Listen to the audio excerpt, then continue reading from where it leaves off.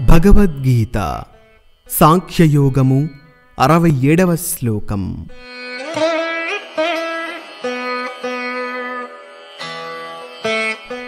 ఇంద్రియాణం హి చరతాం యన్మనూను విధీయతే తదస్య హారతి ప్రజ్ఞాం వాయుర్నావమివాంభసి.